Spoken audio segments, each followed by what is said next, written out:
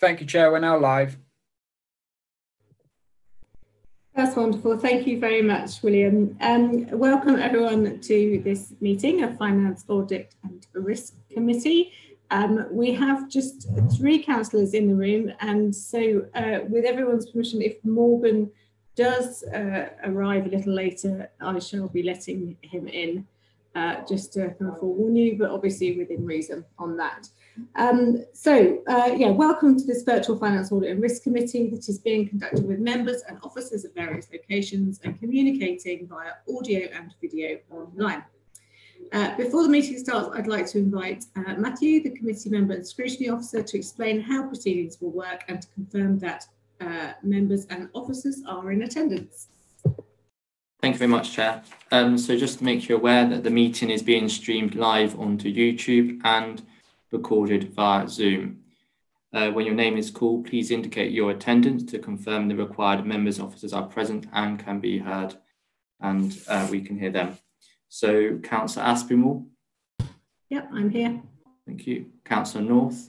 Here. Uh, Councillor Collins has sent his apologies as well as Councillor Deakin Davies. Councillor Derbyshire is currently absent um, Councillor Ruggiero Chaka. Present. Thank you. And Councillor Weeks is also absent at the moment. We have um, Councillor Ian Albert joining with us this evening as exec member for Finance and IT. Present. Thank you. In terms of officers, I have Suresh Patel. Yeah, but I'm not an officer. I'm an external. Yeah. Um, yep. External. Thank you and Nazir Mohammed. Yep, I'm, I'm external auditor, work with Suresh. Thank you very much. Mark Chalkley. Yep, I'm here. Thank you very much. Reuben Ayavoo. Present. Thank you. Ian Cooper. Yes, present. Nick Jennings. It's present. And William Edwards. Present Thank you. And I would just like to ask, I have a person called Josh Smart joined. Um, may you confirm who you are, please? Yeah, I'm uh, the senior. I work with Suresh and Nazir. Thank you very much. I'll just now run through the proceedings for this evening. Um, extracts from the remote, partly remote meetings protocol are included with the agenda and the full version is available on the Council's website uh, members are requested to ensure they are familiar with the protocol. Are there any questions before we start? Right, thank you very much. I now hand back to the chair. Thank you.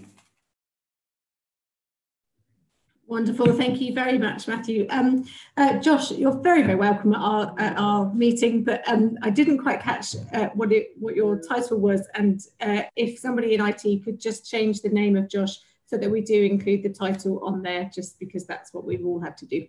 Yeah. So I'm uh, uh, my role was the audit senior. Okay, thank you uh, and welcome. Um, right, uh, so first thing I need to do is apologies for absence. We've kind of done that already in the roll call. We have Sam Collins and Steve Deakin Davies. Um, if you could talk to your colleagues, councillors, around uh, for any that are also missing, it would be good to get an understanding um, of that and to obviously make sure that this very important meeting is well attended in the future. Um, I don't have any notification of any other business, but I do have some announcements that I have to read out as usual. Um, in accordance with council policy, this meeting is being audio recorded as well as filmed. The audio recordings will be available to view on mod.gov and the film recording via the NHDC YouTube channel. Uh, members are reminded to make declarations of interest before an item. The detailed reminder about this and speaking rights is set out under Chair's announcements on the agenda that you will have received. Um, I also just want to check that the members that are here uh, did receive their printed copies. Look at this old school um, stuff, the paper um, copies of some of the more difficult to read uh, spreadsheets. Are there nods and thumbs up on those, or is anybody waving to say they haven't had theirs? I don't know. Sam is. Chair, I didn't have mine, but i am happy with what I've got on ModGov. Okay. Great. All right. So I'm not seeing any any issues there. Brilliant. Uh, uh, sorry to interrupt. I just said um, received apologies from Michael Weeks. Um, he has some technical issues, um, so that's his apologies received. Right, okay, thank you. Okay, uh, so moving on to item five, then public participation, I have none. Uh, so swiftly on then to item number six. And Suresh, I believe you're going to uh, present the final audit results report. Well, thank you, Chair, and good evening to members of the committee. Um, I should have explained, yeah, jo Josh is probably the most important person here, actually, for me, why? Because he, he did most of your audit. So um, he was keen to see the uh, the output of our work and how it was received by the committee chair. So uh, thank you for uh, uh, allowing Josh to sit in on this evening's meeting. So if you cast your mind back to the September meeting where we actually did report our audit results report on the audit of your 1920 accounts, we said there were three key things that we were waiting to conclude. One was the pension assurances from the auditor of the pension fund. Second was completion of work by our property valuation specialists. And thirdly, when, then was completion of our own internal consultation process on your audit report, particularly in respect of the impact of COVID on uh, going concern and your property valuations. Um, I'm pleased to say that during during November, all three of those got got concluded, and uh, we were able to issue your audit opinion on the 30th of November, which allowed you to publish your audited accounts by the target date. Um, that was that was a very pleasing thing for me to be able to do, and um, the, the, the, the, council and the finance team in particular should be commended for its um, ability to, have, to have done that. Ian probably knows that um, not every authority up and down the country, dare I say, even in Hertfordshire, uh, are in we're in that position on the 30th of November. So uh, I think, as we said in September, the actual audit itself went uh, immensely smoothly despite the challenges of having to work remotely. And, and those three areas of outstanding work at the time were, were partly kind of outside, definitely outside of your control, but partly outside of our team control as well. So, so it's very pleasing to be able to do that by, by the target date. So for the purposes of this evening, we, we weren't going to go through the whole report again, but just, just pick up on a couple of points that, that are worthwhile uh, just updating. So Nazir is just going to quickly explain what the impact of that of that pension assurances were, and also talk about the emphasis of matter that we did include in the audit report on the property valuations, which I think we did alert you to in September. But let me just clarify that we didn't include an emphasis of matter on your going concern, and you'll see in the report we've given an explanation for that. But ultimately, that was about did we think that the going concern disclosure that you made was so fundamental that we needed to highlight it to the readers of the accounts. And we concluded on the basis that um, you were very transparent in your disclosure and clearly you're managing the impact as, as effectively as you can, that we didn't need to emphasize that matter. So hence we didn't include an emphasis of matter on going concern. I'll let Nazir just pick up the uh, the pensions point and the, and the property valuations point, and then I'll just close on the fees page. Nazir? Perfect. Thanks, Suresh. Uh, just uh, recalling from September, where we had a property valuation as a significant risk as compared to our planning, where it was uh, higher inherent risk. And the reason we uh, upgraded our risk to significant was uh, mainly due to the material uncertainty reported by the valuer. So the authorities' uh, ex- internal valuer did disclose a material uncertainty in its year-end valuation report, and that was in line with the valuation uh, risk guidance. Uh, to address that, the authority repeated the, the same un material uncertainty in the statement of an accounts. And to address that, uh, we have engaged our real estate specialists as well, uh, where our specialists review certain samples, including the Churchgate Shopping Center. Uh, based on the review from our valuation experts, they have concluded the valuation is in line. It's, it's reasonable. Uh, and we have also concluded that the material uncertainty does not exist for uh, property valuation.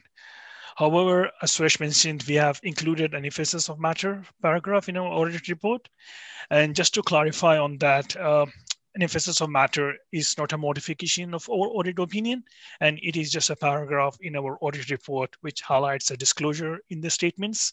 In this case, it's about the material uncertainty, uh, which we think it's of importance to the users understanding the financial statements. Uh, the other area which was outstanding in September was pension liability valuation. Um,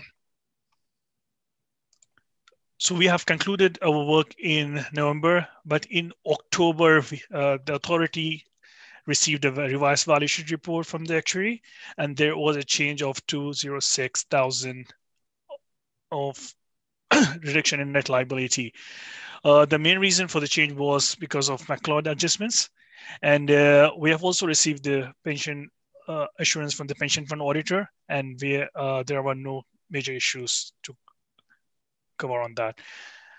Uh, that's where we have concluded our two key areas outstanding. And, and I should say on both of those, so the emphasis on matter on property valuations and the sort of late adjustments that you made on your pensions liability are, are pretty common. We're pretty common this year, as well, pensions in particular, as, as is most years. But the emphasis on matter on property valuations is appearing in the majority of councils who hold significant significant property value, uh, assets on their balance sheet, particularly if you've got investment properties which are clearly affected by the market volatility at the end of uh, March 2020. So finally, then to wrap up, and then we'll take questions. Just on page 32, there we've indicated uh, obviously the areas of additional work that we were required to undertake, uh, largely driven by the impact of COVID-19. Uh, we indicated a range of additional fee there. We are currently putting together the final quantification of those fees, which we'll share with Ian and have a discussion around, around those before submitting our proposal to PSAA for final approval. We'll stop there, Chair. I'm happy to take any questions. Lovely, thank you very much for that. Um, and yeah, pleased to see uh, that we are one of the few authorities that were in the position that we were. So congratulations to all. Um, first of all, I'll go to Ian uh, Cooper and or Ian Albert to see if there's any further comments that you want to make. Just a nod or a shake will be fine. And then we'll hear any questions. No, anything from you, Ian Cooper? No. Uh, okay, any questions or comments from the committee? Nothing at all. Josh, I bet you're glad you came. um, okay, well, that's wonderful. Thank you very much. Um, and, and congratulations once again for, for getting us to this point. Um, I, I understand the piece on fees is, is still to be confirmed. So, uh, yeah, I appreciate your openness in sharing that with us today and, and very happy to, to note that. Um, I am just a little bit, uh, you'll have to forgive me because this is very small screens. Um, and I'm just trying to make sure that we've just got the recommendations right. And as I understand on this, we're just noting that. Is that right? Noting this report at this stage. Brilliant. Thank you very much. All right. Um, I am going to move on then uh, to um, the item seven, SIAS update on progress against the audit plan. Um, did anybody want to leave at this point? I know that yeah, we're going to drop off, Chair, if that's okay. That's absolutely fine. Thank you. Thank Thanks. you very Bye. much. Thank you very much. Cheers. Thank you. And good to meet you, Josh. Thank you. Okay, uh, if I can hand over to Mark then to present the SIAS update against the audit plan. Thank you, Chair. Um, it's a relatively brief update from me today, so you'll, you'll, be pleased to know that I won't take up too much of your time. Um, so I'm going to shoot down to page 53 and just introduce the table at uh, paragraph 2.2, where this highlights um, all the final reports that have been issued since the, the committee last met in September. Um, we've concluded quite a lot of work in the three months since the last committee. So um, I just wanted to take this opportunity to pass my thanks on to um, officers for their engagement over the course of this whole year, but particularly over the last three months where we've closed a lot of projects down. Um, the paragraph the, the paragraph at 2.3 just notes that I've appended the um, the report on the review of the effectiveness of the FAR committee to this report. Um, that's just to bring that to members' attention to, to note the contents of it and um, to kind of draw attention to the um, advised actions in section four. Um, paragraph 2.6 on page 54, um, I just want the committee to know uh, an amendment that we've made to the plan.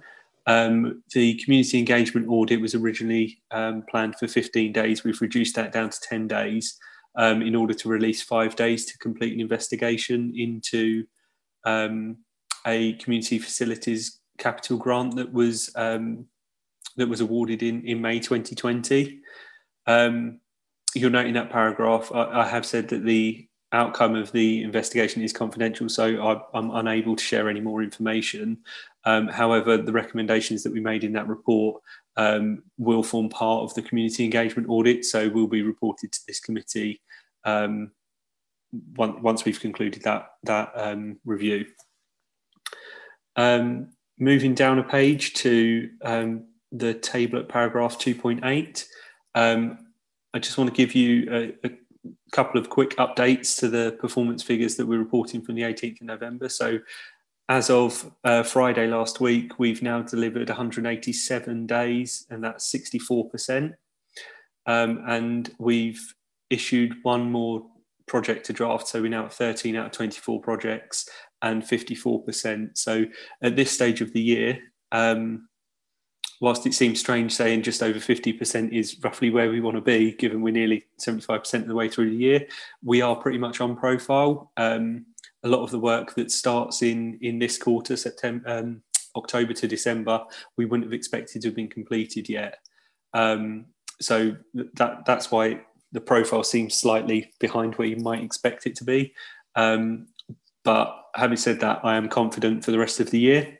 Um, as I reported last time, all work's allocated.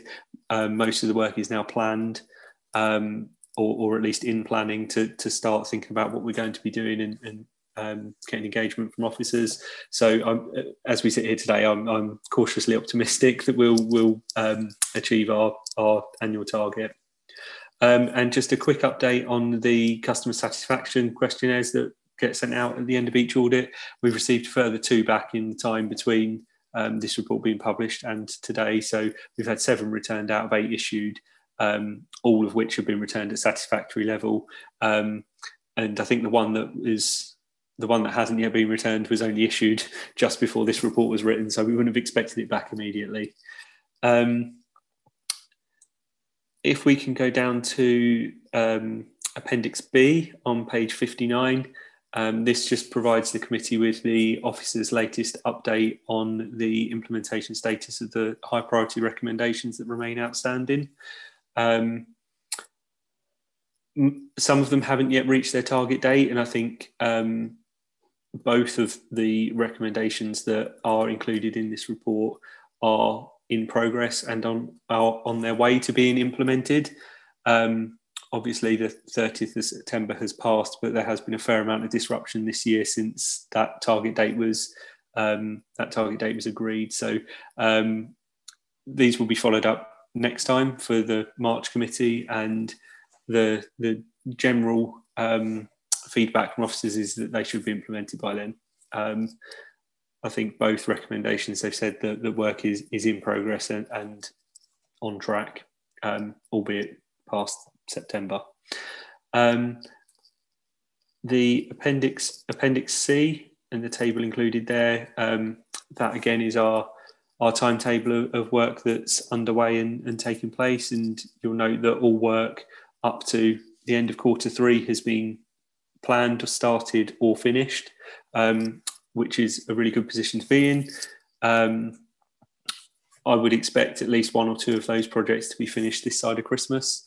Um, so that puts us in a really good position going into quarter four, um, where we've got a very small number of audits planned, um, particularly with uh, King George V playing fields and Workman's Hall, a, a very, very small project. So, um, as I said, I'm, I'm confident that when we get to the end of the year, we'll be in a really good position in terms of um, our targets. Um, and then the final part that I just wanted to draw your attention to was the the appended report, uh, Appendix C, and um, our overall conclusion was that um, the FAR committee is compliant with CIPFA best practice, um, so that's a really good outcome. And we've highlighted um, four actions um, under section four on page 70 um, in order to, to maximise the effectiveness of the committee. Um, therefore, things that, that we think you should be thinking about as a committee um, as we kind of move into the to the next year. Um, that's all I was planning to update you on, Chair and committee. So if there's any questions, happy to take them. That's brilliant. Thank you very much. Um, do I have any questions at this stage. Uh, Sam North, you've got your hand up. Thanks very much, uh, Mark, as always. Um, just one very quick question on the investigation you mentioned. Um, clearly, if it is confidential, uh, it needs to stay out of this meeting, but who is it being reported to um, and who is um, managing it from a membership perspective? Um, the the report's been issued to the uh, deputy monitoring officer and the section 151 officer. Um, I don't know whether Ian wants to add any more to that. That's what I was going to say as well. Yes, it's been issued to, and yeah, it's being dealt with as a result of that. The fines are being used as appropriate. Thank you. Thank you, Sam. Are there any other questions? I'd like us then just to, to, to linger on that Appendix uh, E, uh, the section four, um, looking ahead.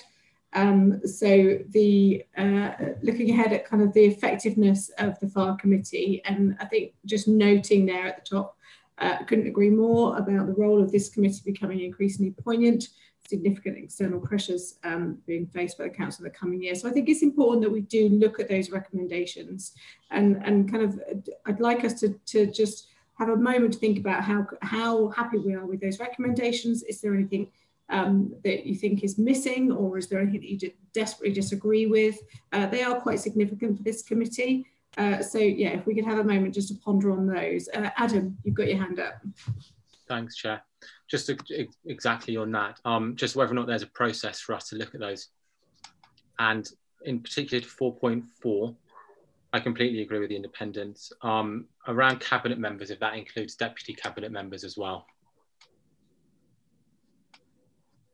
Yeah, that's an interesting one, isn't it? So I think in terms of the process, um, it would be good uh, if we, yeah, Ian, if you just want to, are you going to cover that off? Is that why your hands up?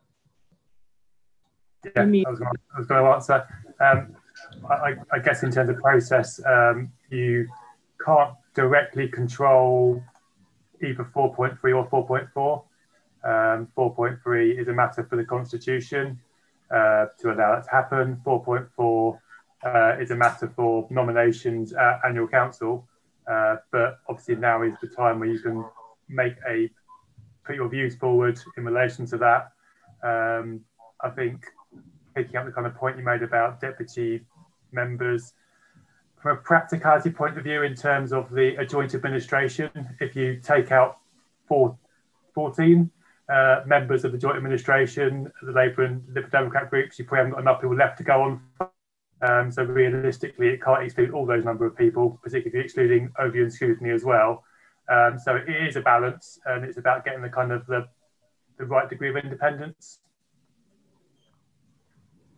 it's a really tricky one, isn't it? We end up running out of people quite quickly once we start to put those limits in. But I do think, um, and I'm not hearing any any strong objection that as baseline principles they are they are sound.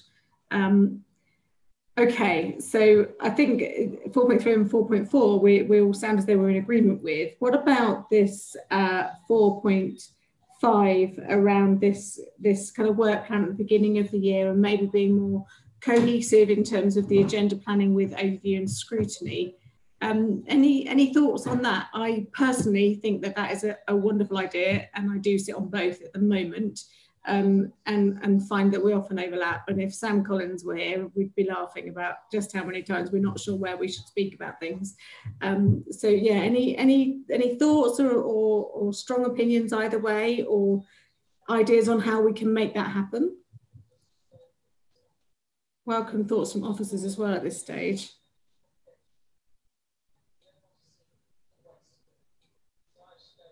Ian. I'll come in then. Um, I, I, yeah, I think it's the right thing to do. Um, I think we've come across a number of times this year where I guess FARs want to look into things from the risk perspective that actually are probably more scrutiny functions, but there may also be things missing the other way. Um, so maybe at the start of each civic year, we do coordinate um, a meeting between the chair of FAR and the chair of Overview Scrutiny to kind of look at some of the hot topics that may be coming up and determine where they should sit. and get the balance right between the right number with each committee, but also the right constitutional um, perspective on each of them. Um, and yeah, I think that would be a good way forward, probably after the first meeting of this committee in the new year, in the new civic year, to make sure we're going to get the view of the members of the of, of the committee before we have that meeting. Yeah, I agree with you, um, and I'm not seeing anybody anybody objecting. So, um, in terms of making that happen, then Ian, are you are you happy to take that away, or would that perhaps sit with um, with with you, Matthew, in, in committee services? I'm not sure the right place for that to sit to just make sure that those meetings happen. I feel as though Ian, if you keep that as a as a kind of overview objective, that would be helpful because obviously you've been part of this conversation. Oh, a hand went up and then went down again. Yes, happy happy with that. Yeah, leave that with me. Thank you. Thank you very much. And then of course we've got this learning and development, um, and I mean this is this is always here, isn't it? That that we probably I think members would would all uh, know would all put their hands up to say that we just don't do enough um, of the L and D stuff, and it's very very difficult to to get that in. I know that Ian every year does a skills uh, a, a training needs analysis to, and, and attempts to get that through. Um, I think I think that at the beginning of, of the next civic year, we, we have to prioritise that for this group. Um, uh, having sat on it for two years now, I can you know I, I, can only imagine what it feels like for someone that's been on it for decades of, of having similar conversations um, year in year out. So I think we do we do need to, and I'm not seeing anybody saying no, this is unnecessary.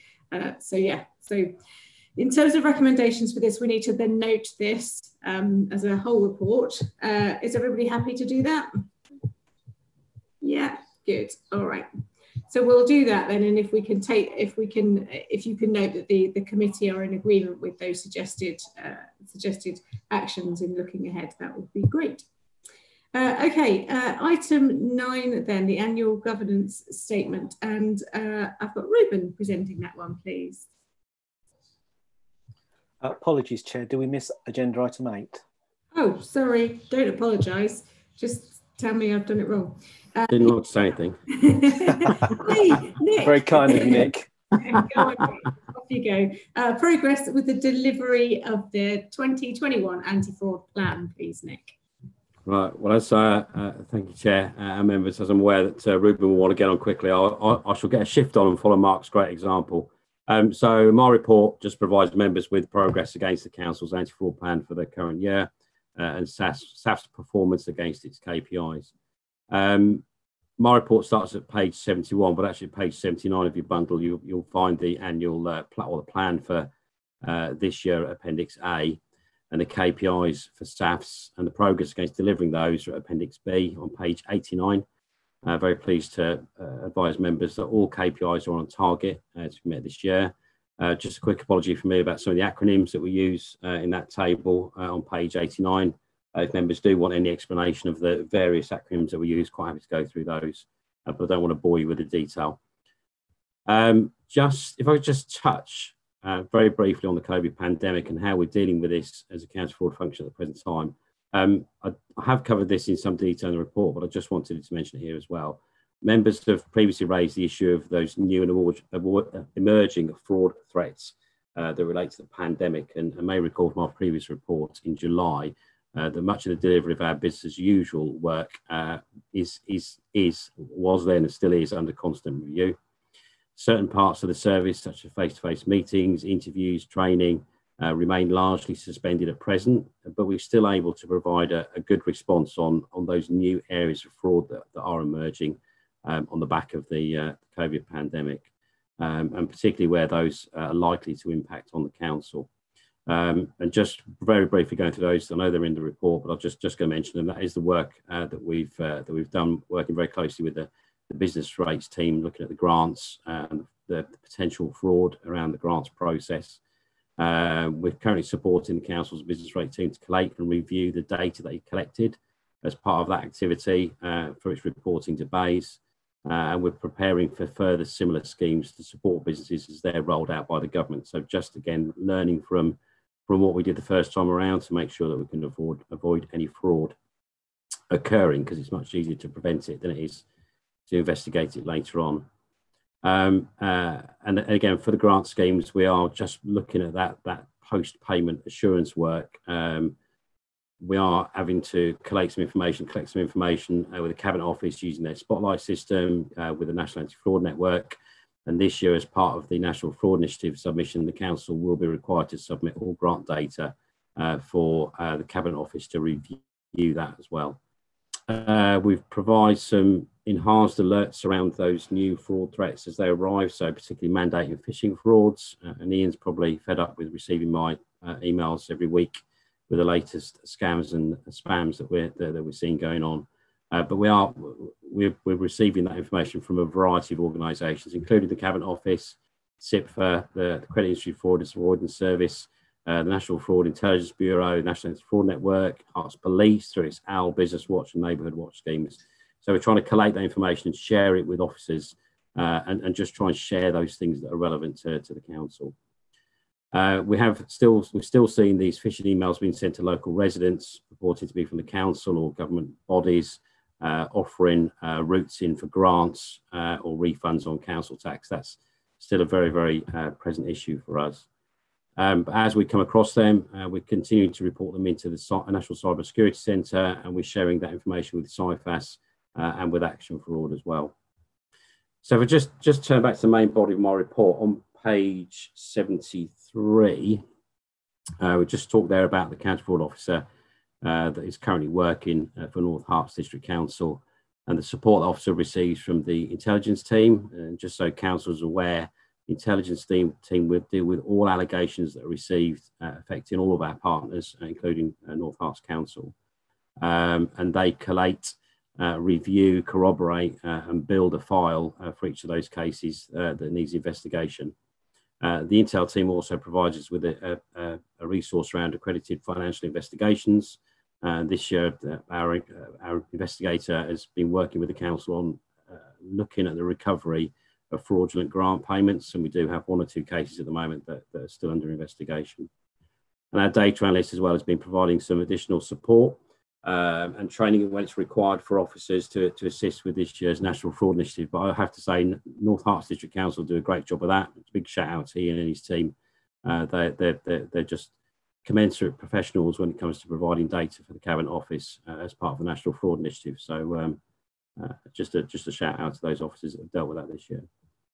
Um, on page 74, section 2.5 to 10, uh, we just talk about some of the work that we're doing around building on that existing anti-fraud culture, uh, looking at awareness and training, making it easy for staff and the public to report suspicions of fraud. Uh, the council's web page is currently linked directly into the SAFS homepage, so there's an online reporting tool, options to use a hotline, email, uh, contact us to report fraud. Um, so we're trying to make that as easy as possible for people to report concerns to us, uh, whether they're members of staff or, or the public.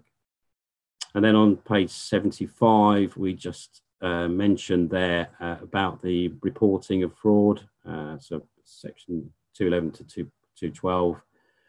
Uh, we had noticed a little bit of a dip in referrals across all of our partners between March and July, and there are probably a variety of reasons for that. So we ran a campaign in August to try and raise awareness for, for, residents across the county of, of the risks of fraud to the local authority. Um, that campaign was a social media campaign that reached over 350,000 residents uh, across the county. It saw our referrals uh, double across the partnership uh, just in the couple of weeks that we ran that campaign. And hits on our webpage uh, went up from around 100 a week, which is normal for us, to 700. So uh, we had a little bit of a tsunami of work uh, coming in in August. And then we added to that further in November because we, again, with the council and with SAFS, we supported International Fraud Awareness Week with some local campaigns as well. We're still waiting to see what the outcome from that was, but we certainly saw an increase in uh, visits to our web pages and reported fraud as well. So for this year so far, we've received 66 allegations. Uh, so these are allegations of fraud. They're not necessarily uh, fraud as such. They're just suspicions that are reported through investigations. Uh, this is slightly higher than at this stage compared to previous years, indicating perhaps our camp campaigns have been effective. Um, but um, um, overall, uh, that, that's a fairly good number for us to be looking at. Uh, we're, we're, certainly you know, going to be topping over 100 uh, referrals coming into the service this year for North Herts. Uh, page 76, we just again touched on a number of cases that currently have either been investigated and closed or are still uh, being investigated at the moment. Uh, the, the, number of live cases at 49 is, is fairly manageable for us, uh, but if it started to creep up above that, then we'd be making decisions and sort of having a conversation with Ian about what, what we do with the um, overflow of work uh, that we might have. But at the minute, it's, it's, it's at a manageable level. Um, on pages 76 and 77, we just provide that, that detail, uh, a bit more detail about what we're doing with the, the, COVID work or link work that's linked to COVID. And then finally on page 77, uh, there's some detail there about the proactive prevention uh, work that officers and staffs have undertaken uh, so far. And again, as I mentioned there about the uh, NFI work um, and the other data matching, data analytics work that we're doing uh, to support the authority. Uh, and Chair, that's my report, but I'm happy to take any questions from members. Thank you very much. Very thorough. Um, uh, okay. Uh, anything that anybody wants, any questions or comments on that report? Brilliant. okay, okay, great.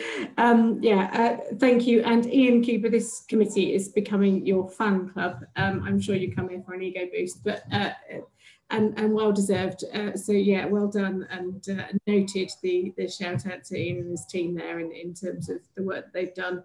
Um, so yeah, thank you very much. That's that's uh, that's great. And I think our is again just to note it. So committee happy to note it. Yeah. Okay. Wonderful. Thanks, Chair. Now, uh, uh, you're free to go if you wanted to. Thank you very much. Have a good evening, Chair. Thank you very much. You too. I'm going to take that opportunity as well, Chair. Thank you. Oh yeah, sorry, Mark. Sorry, I just thought you enjoyed it. Um, okay, off you go. Thank you. Bye. Anyone else wants to drop out? That's fine. Uh, uh, but Reuben, not you. It's over to you now for the annual governance statement. Curses, nearly. Um, Thank you, Chair. Um, very swift report here. This is to bring this bring this report brings an update to the action plan for 2020-21 it was part of the final annual government statement, which you considered on the 7th of September. I'm not going to go line by line, but just to say the preparation of the, the statement and the action plan is a chance for you um, for the NHDC to consider its robustness of its governance and its internal control arrangements. So it's always useful for it to come back to here. Um, 8.2 talks about the five actions and Appendix A. They are all ongoing this year. Um, and I will come back in March to provide a further update. I'll just spin down to page 95 to outline those five. So the first is the ethical awareness training. Um, there's a there's uh, a need for both increased staff and member uptake of that training. There has there is a, a quite an extensive induction program for members now, and there are two member champions. So they are they will probably be progressing those throughout the year. The second is regard to the new grant policy. We revised the policy criteria for the grants at the beginning of the year. So my team are looking at looking at the width, the width and depth of who is now applying. We'll come back and provide a report probably to council and cabinet at the end of the civic year. The third one is regarding the gender pay gap report action plan, and that is online, but there's a list of actions there, and that's ongoing, and that report will be uploaded at the end and update at the end of the civic year as well. Number four talks about the LGA peer challenges. Um, some of you will be aware of the Shaping Our Future program, which has been established to take forward that organisational development that the, the challenge talked about.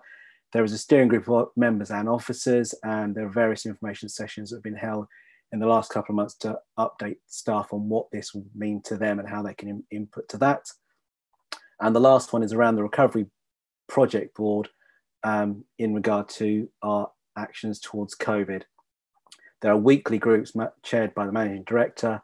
The board meets on a fortnightly basis and it, it, it moves between response recovery as we move between lockdowns. Um, that's all I wanted to say there, but I'm happy to take any questions from anyone. Thank you.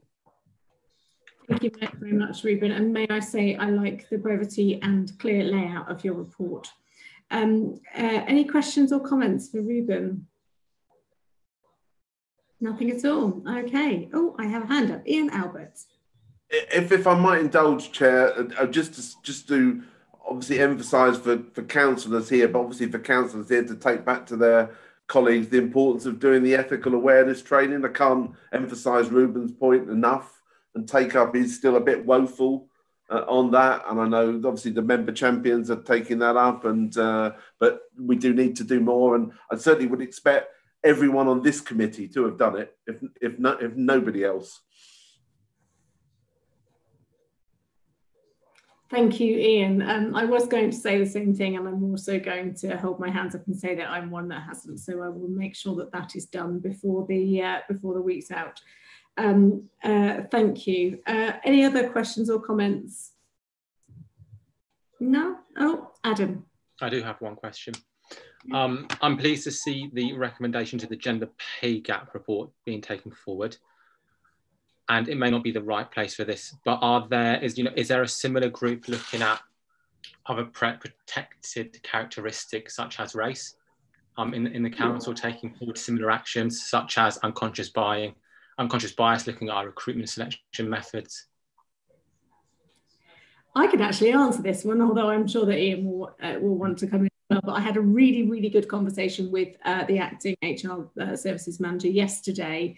Um, and it, it, was more of a kind of chat between two people who do this for a living.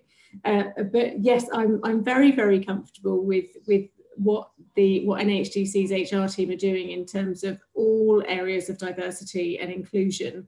Um, and correct me if I'm wrong, Ian, but the, the gender pay gap group is has now been extended to become an inclusion group to look across all areas of, of uh, diversity and any, any sort of protected characteristics. So that includes race, disability, etc.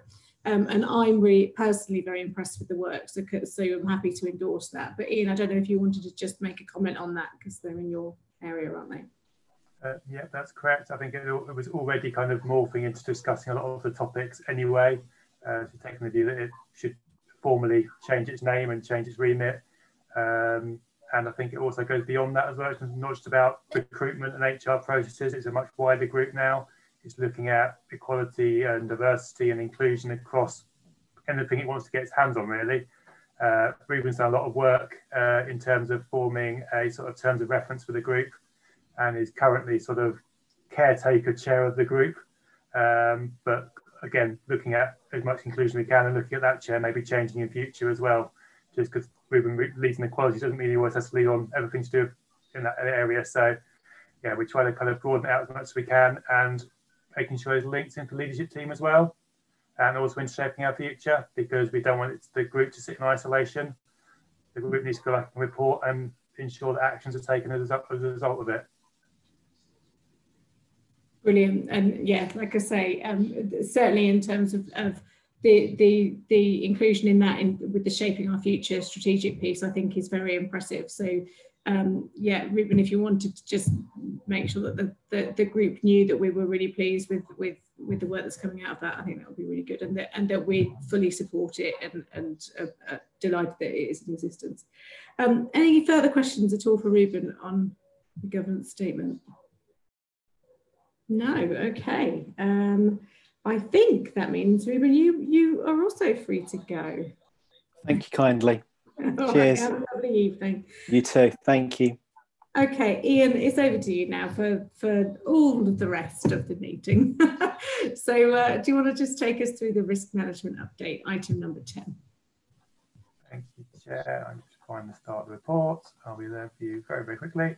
Um, so yeah, um, so quite a busy uh, risk management group at the last meeting, and um, sort of two key things coming out of it, uh, although much more discussed on what I'm going to talk about now. Um, firstly, uh, the proposal to change the risk in relation to the impact of COVID-19 on, our, on our leisure uh, management contract. Um, now, I'm sure you'll be aware that as we have as we've had these lockdowns, it's meant the leisure centres have closed, and therefore that places huge financial pressure on, on SLL uh, and therefore us in, in, relation to those. Uh, there will be a report going to cabinet and then on to council um, in December and January respectively around sort of the level of that additional support. Um, I'm sure you appreciate some of that is going to be part two. Um, so can't into all the detail of it tonight, but but please be assured that you know kind of that, that that's going for that process to make sure we're getting the right governance right in terms of proving what, what support we do provide to to, to SLL um, and hoping that the end is in sight and maybe we will avoid any more lockdowns and closure of the of the leisure of the leisure centres because you know they, they provide both uh, a nice income source uh, uh, as well as valuable valuable um, um, facilities for, for our residents as well. Um, the second, another area of significant discussion, and this was as requested by this group, um, was a discussion around the risks in relation to um, commercial. Um, and we had quite a detailed discussion. Two of the members of this group, Councillor uh, Councillor North and Collins, were able to attend the group, which is really good. Uh, and we were able to, uh, to, to, sort of go into that in quite a lot of detail. Uh, I'm not going to go forward discussion about here because it would take us too long. Uh, but I hope that the conclusion of that was that we kind of think really got into the depths of, of those risks, and I think really appreciated where they where they were and that the appropriate measures were in place.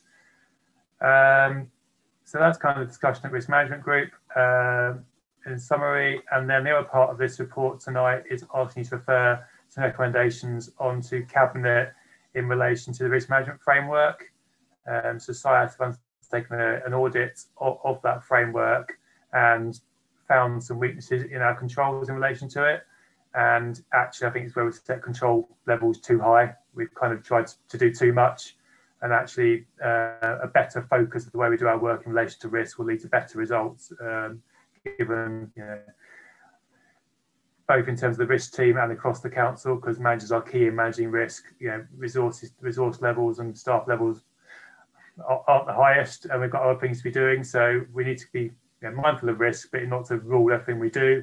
Um, so a lot of proposals, as summarised in the appendices, sort of relate back to the findings of the audit report and getting the right degree of control in place. Um, so in terms of the recommendations, there's recommendations there to refer on to cabinet, as well as the recommendation in relation to the leisure management uh, COVID-19 risk. Uh, obviously, have to take any questions uh, arising from that report. That's brilliant. Thank you very much, um, Ian. Uh, oh, and thank you, person that just bought me a massive Toblerone. Jealous. Um, okay, so focusing on this, then I um, I do have a couple of questions. Does anybody else have any before I ask mine? No. Um, I, I'd just like to ask a little bit about where obviously uh, COVID 19 has, has been on here and has, has kind of changed the landscape for us. I'm presuming that um, the risk management group hasn't hasn't had discussions around what next in terms of where we are today. And I appreciate that it is a, a daily changing um, situation.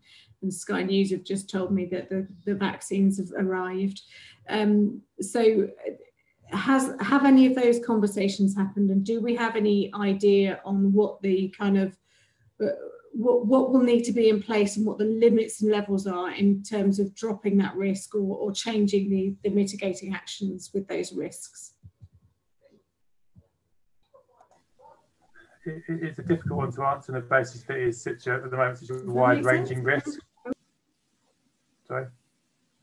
Um, I think the risk as it stands covers both um, the impact of COVID 19 on our services um, and on our finances, as well as starting to look at elements of recovery. Um, you know, going back a few months, we were looking at recovery, uh, and now we're back into kind of um, reacting to, to managing the situation as it stands at the moment. Um, I think there'll be a need as we emerge, hopefully, into sort of spring next year to look at um, splitting that risk out a little bit and looking at you know, the impact on services separately, maybe from the recovery phase, uh, and then determining. I'm very sorry, but I'm having connection issues. I don't know if anyone can hear me. Yes, we can hear you. I can hear you, Chair.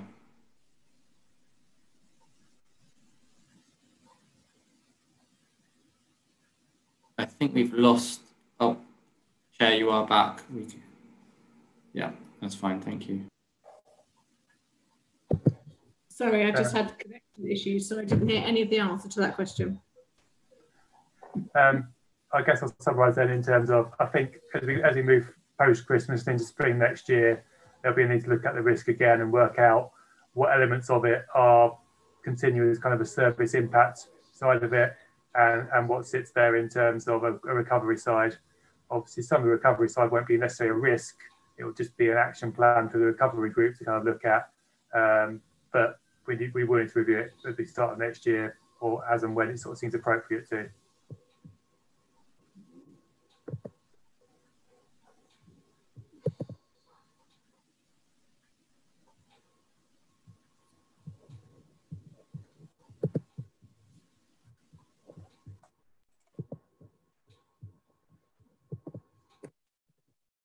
Uh, Councillor Aspinall, are you are you having some problems with the connection?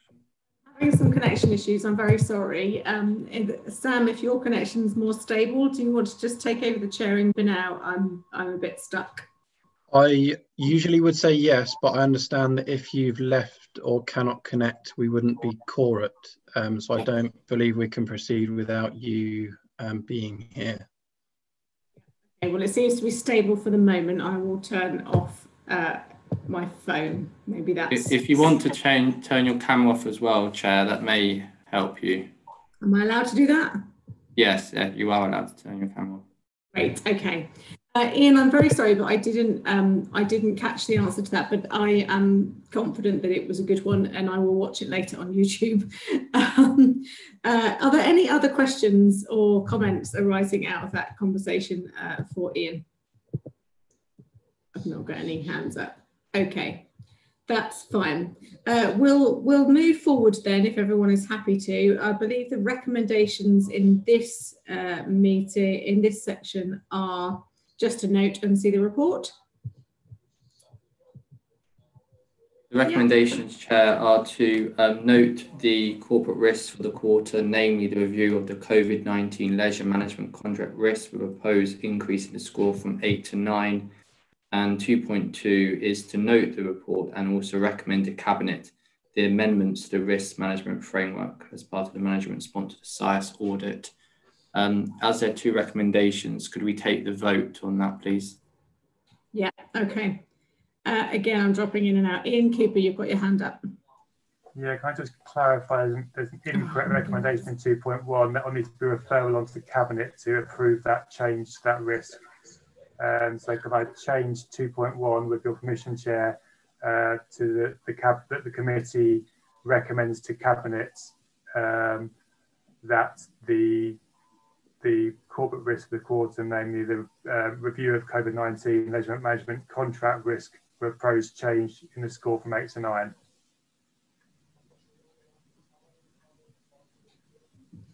I am happy with that. Are there any objections? Okay, if you could vote then, members.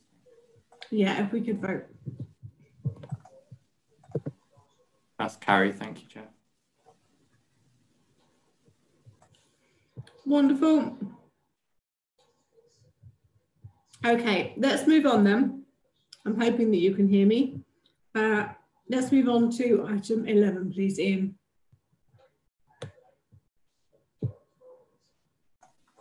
Thank you, Chair. Um, scooping through the paperwork to get there. Um, so the next item is the quarterly uh, revenue monitoring report. Um, and as ever, most of the detail is in uh, the table, table three on page 143, uh, which takes you through the various um, changes in the forecasts for this quarter.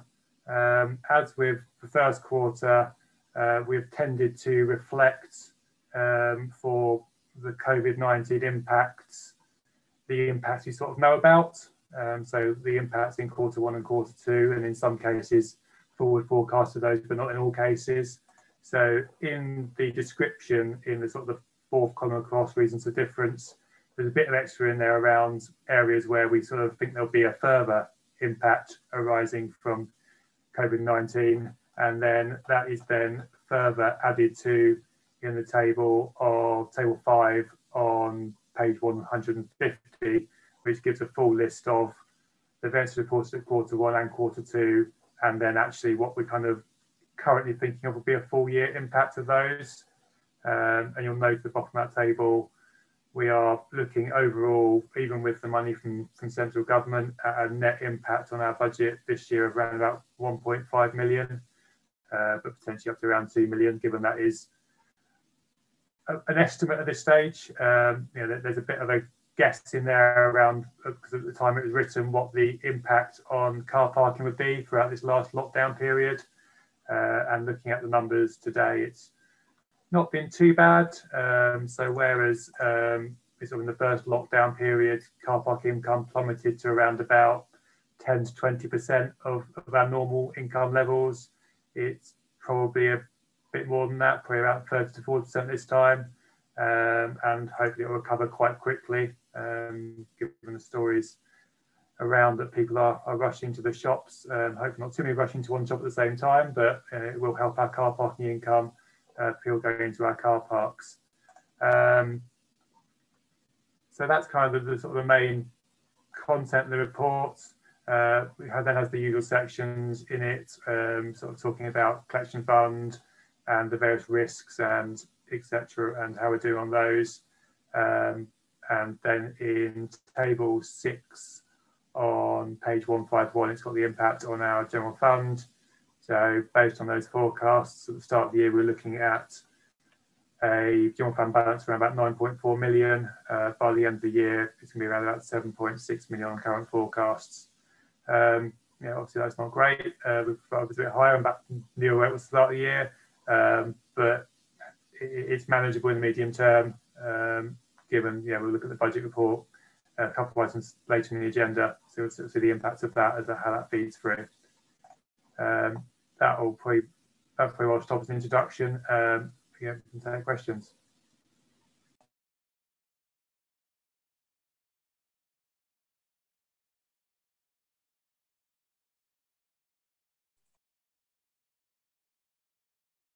How are you here? I think we've lost um, the chair. So if we adjourn very briefly, um, just to make sure, see if she can get back in. Um, there are telephone options that may work better for her. Um, I propose that we pause the live stream and go to a, uh, a holding page while we um, try to sort out the technical issues? Sure. Thank you. Happy to do that. Thank you. If members could turn off their microphones and their cameras.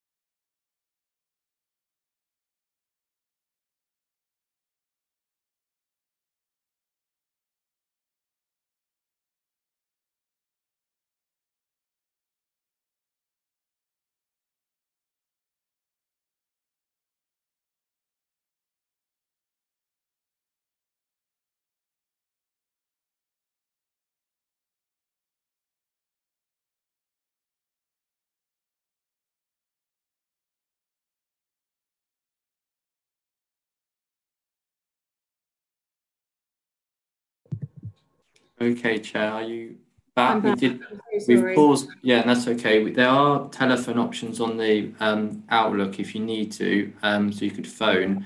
But um, as we as we potentially weren't there for the item, um, we're going to ask Ian Couper just to run through the item again.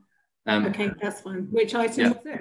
Item, Uh, so we're still on the um, the second the second quarter revenue monitoring. Did you hear all that, um, or do you need? uh, a bit yeah, kind of. I'm going to go off video um, Yeah. and stop the incoming video. Um, yeah, okay, yeah. So, so sorry, which item was it? The, the Second quarter revenue monitoring Yeah. 2020. yeah, all right. Okay, uh, yeah, Ian, do you want to run through item 11 again then? Apologies for that, guys.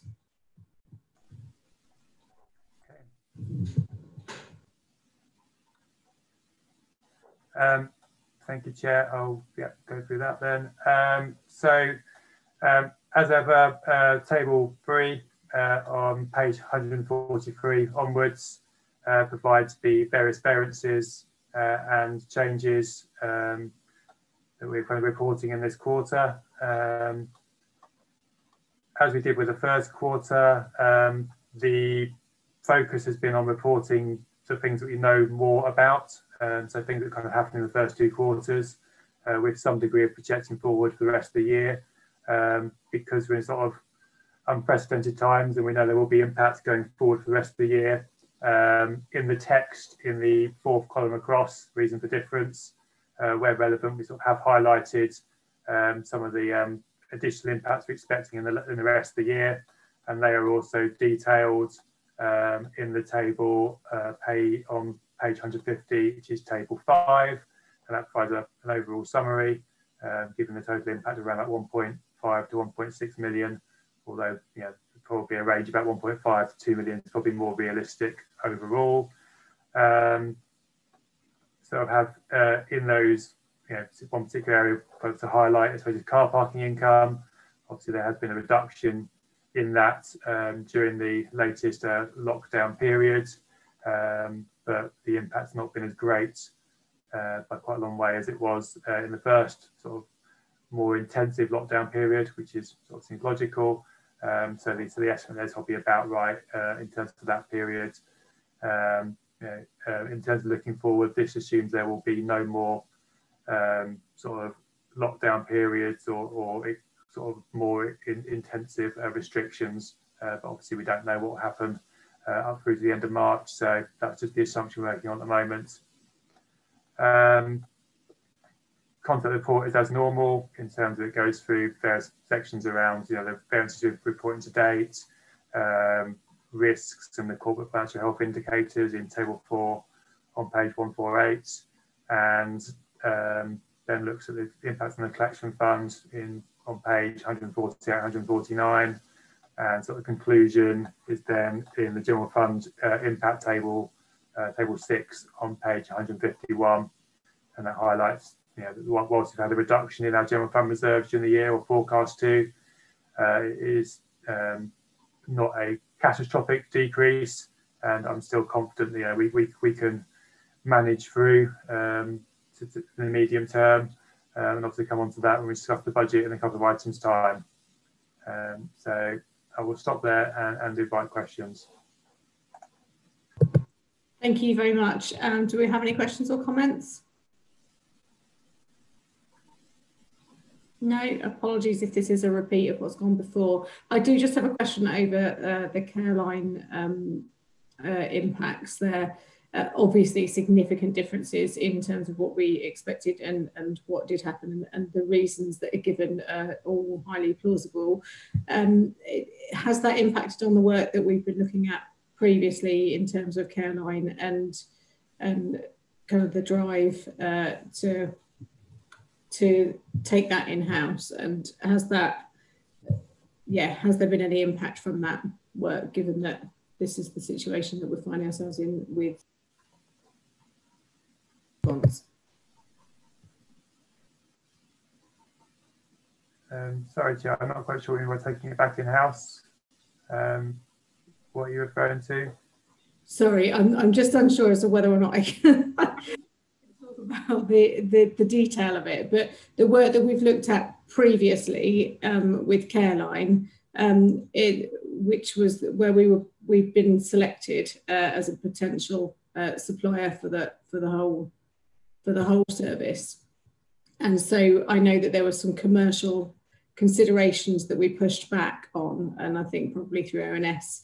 Uh, but I just my my concern is that given that the difference is so, so large in terms of what we expected to spend and what we have, whether or not that those two fields of work have been tied together, because that feels to me like a, a, a good uh, an important commercial consideration in that decision making process.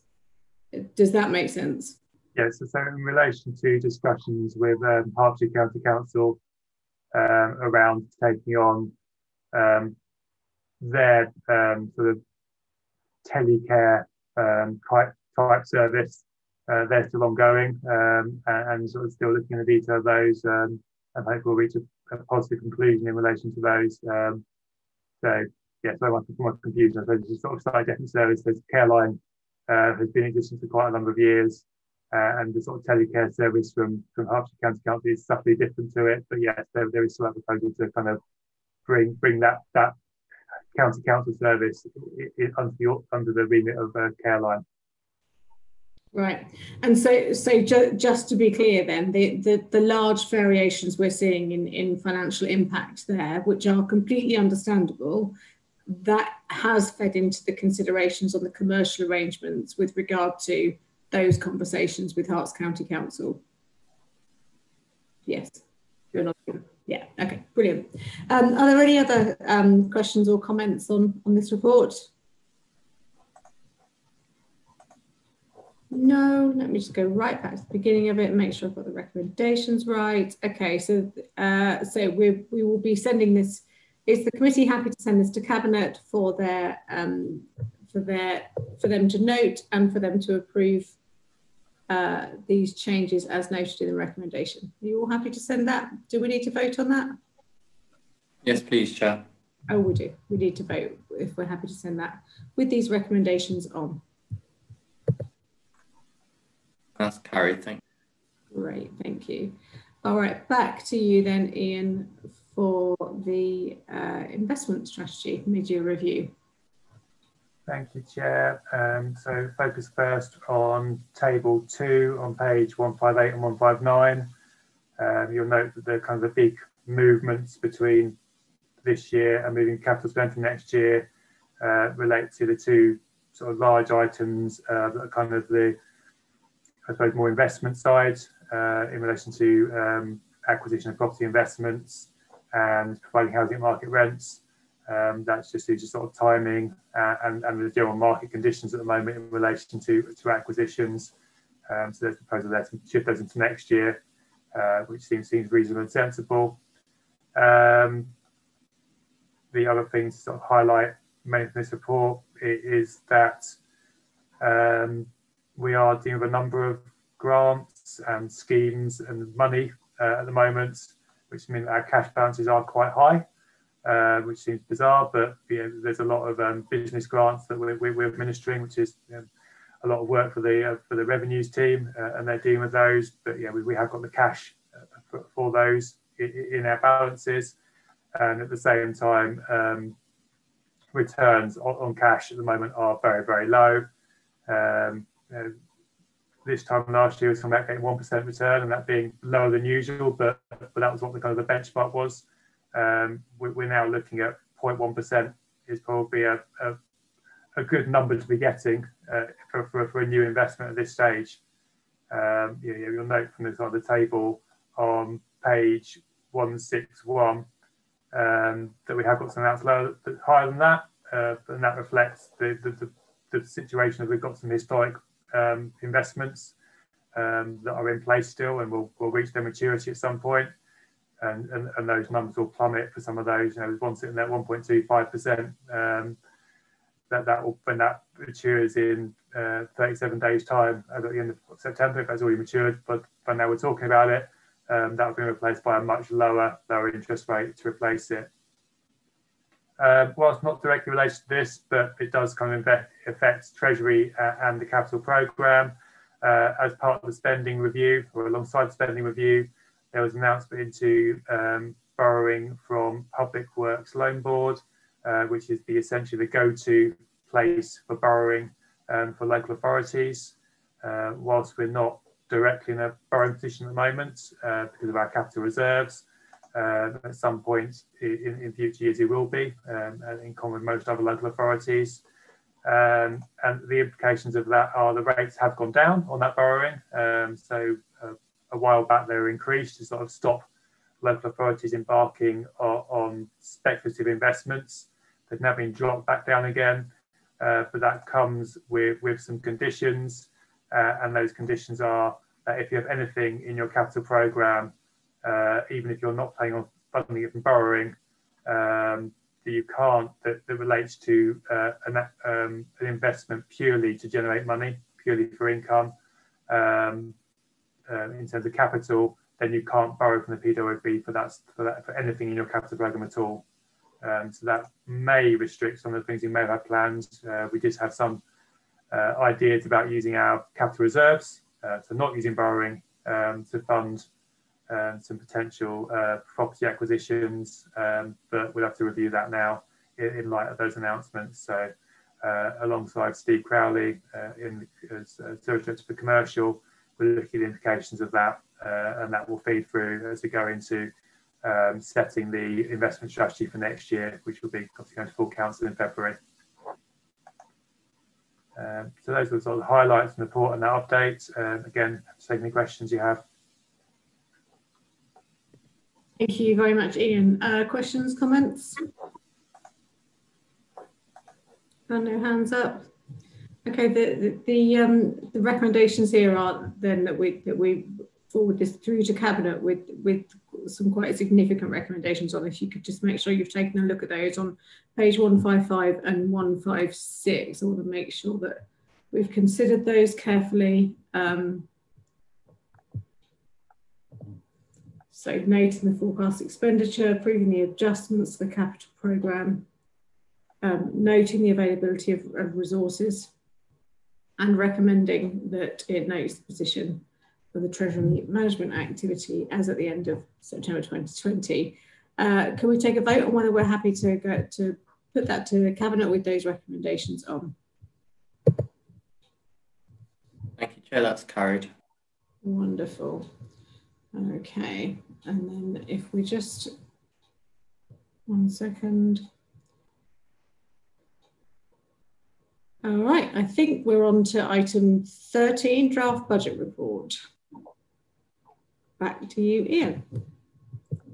Thank you, Chair. This is the first uh, version of the budget report. Um, the main purpose of the report at this stage is to sort of highlight um, sort of some of the base positions and to um, feed, provide feedback from um, the budget workshops which took place uh, earlier in November um, to Cabinet so they can kind of consider the comments from those workshops in determining um, what, what savings uh, and capital programme items to take forward uh, as part of the budget that will obviously make its way to, to full council in February. Um, so um, the details of what was presented to the budget workshop are presented in appendix, in two appendices, and um, the kind of comments in the workshop were kind of captured because there weren't many of them. We've captured in in the report itself. So in relation to um, the savings investments, uh, they're mainly captured in uh, paragraphs 8.9, uh, 8.10, and 8.11. Um, so that's where we sit on those. Um, the conclusion position at the point we wrote this report is set out uh, in table three, which kind of builds together the, the wider picture um, and shows sort of funding shortfall between that at the bottom of there. Um, because of the changes made in relation to um, updating infl inflation amounts, um, particularly in relation to pay, um, the numbers have come down a bit. Um, so you may remember from from the medium term financial strategy, we're looking at 2.65 million. We're now looking at 2.1 million ish. Um, so still a big number, um, slight improvement, uh, but still doesn't take away the need to take action in future years. So as we move through into next year, um, assuming you know this budget is taken forward in, in broadly this this format, um, there will be a need to identify future savings in future years to, to achieve a balanced budget on a medium term basis. Um, again, I think I'll pick up here a kind of quick update from the spending review, uh, which actually provided a bit of useful information. Sometimes um, it's at such high level you don't really get anything out of it. Um, but in terms of things to be aware of in terms of budget, um, there is a commitment from government um, to continue some support for local authorities uh, moving forward into the first part of next year. They announced a, an amount of 1.55 billion be spread um, probably on a formula basis amongst all local authorities, so both district, uh, borough, um, unitaries, and counties. Um, um, in relation to spending pressures in relation to COVID 19. Uh, and I also announced um, the continuation of the income guarantee in the period from April to June next year as well, um, which I suppose is better than I kind of thought might happen. Um, I thought it'd be complete silence on that, on that matter. So this gives that confirmation. Um, obviously it'd be interesting to see you know how long the impact of, of COVID-19 continues into next year. Um, obviously commitment for April, May and June is great for that period, but if the impacts are going on beyond that, uh, we'll obviously start petitioning government for, for more support than they've already promised. Um, but there's no point doing that yet until we know we might sit in that position. Um, also, no details yet, uh, but they have committed to an additional year of new homes bonus in terms of the amount we get, uh, additional year of, of, reward for it.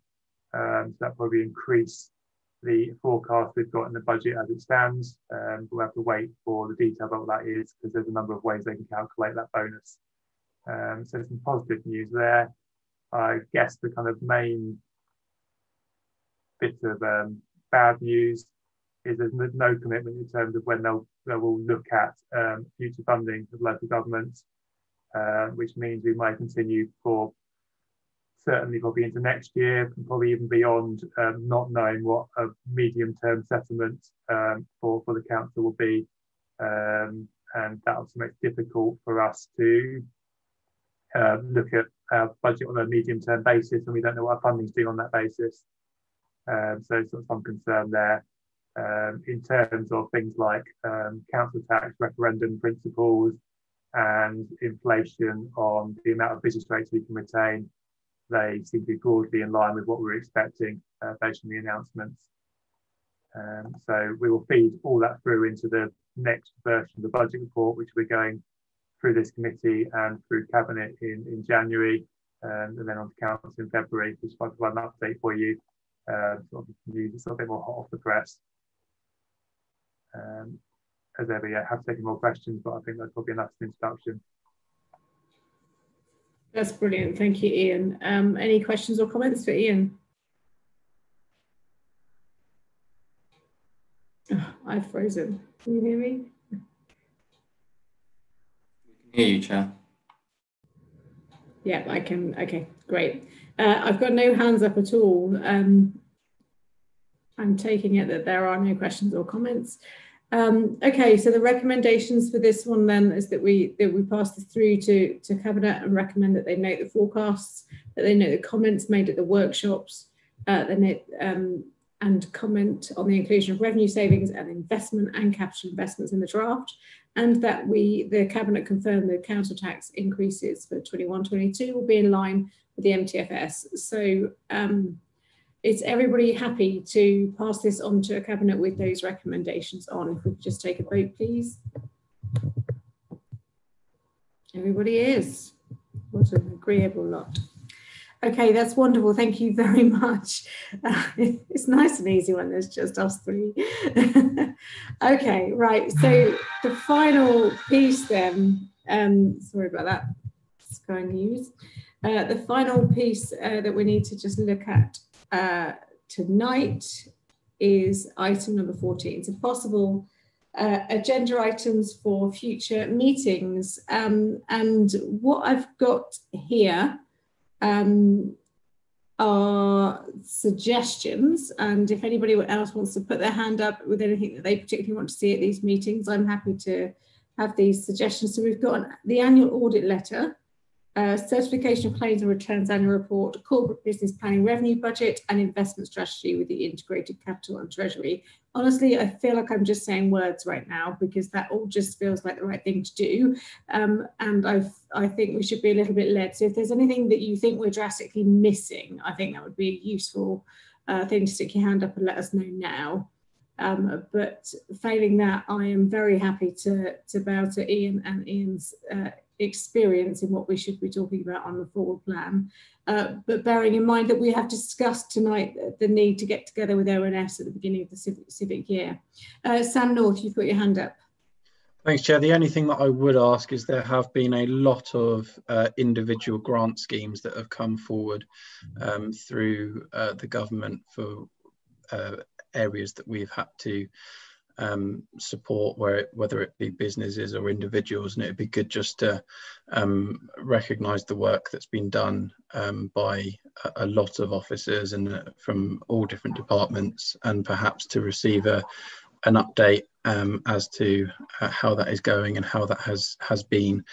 I don't know whether that would need to sit under ONS or Finance Audit and Risk, um, but I think either way, both um, committees uh, are very grateful for the work that has been done.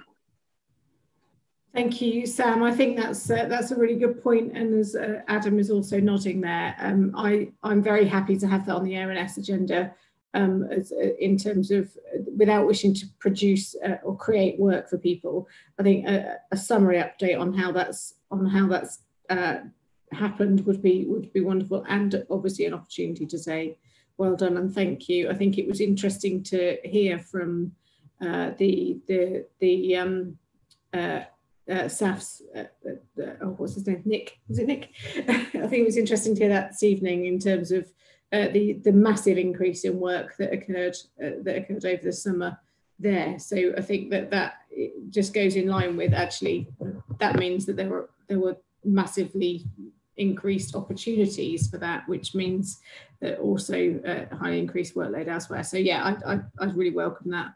Um, anything else that anybody thinks is missing drastically off this forward plan at this stage? No. Okay, so our next meeting is the 18th of January. So I think I should just say, be the first to say, have a great Christmas and a great New Year. Um, although I'm sure that I'll see you all in between now and then, certainly you, Mr. Albert. um, and thanks for joining this evening. And please encourage uh, other colleagues to that should have been here to to attend because although it's been lovely, I think it, it sometimes might be better to have a, a, a more lively debate um, when we're scrutinising as, as is our role. And thanks for bearing with me on my technical difficulties this evening, which only happened after the Toblerone arrived. So I think there's a, there's something there. All right, um, and so with that, I'll say good evening and have a nice week. Thank you.